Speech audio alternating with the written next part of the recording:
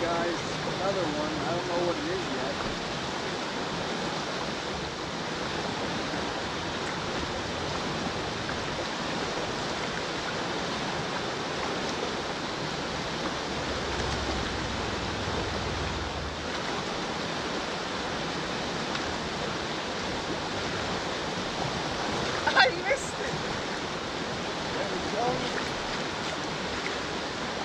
Guys, this is definitely one of the better fish that we caught this morning. Probably a 14, 15 inch rainbow. Here it is a little bit closer. This guy back on in here.